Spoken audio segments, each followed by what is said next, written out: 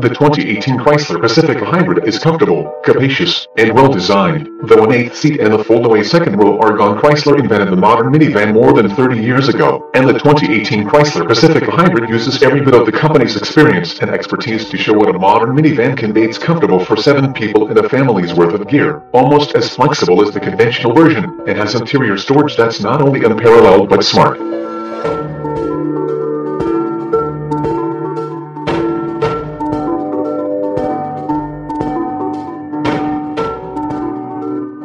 While we gave the conventional Pacifica a full 10 out of 10 points for comfort and quality, the hybrid model loses a point and falls to 9 out of 10. We dropped it 1 point for the loss of Chrysler's trademark Stow 'n Go foldaway second row. Since the hybrid system's lithium-ion battery pack now rests in the box where the seat would normally go those losses aside, the Pacifica remains the large vehicle but one that takes advantage of its volume, accommodating even 6-foot adults in its third row that's a rare feat indeed among minivans, let alone 3-row crossover utility vehicles.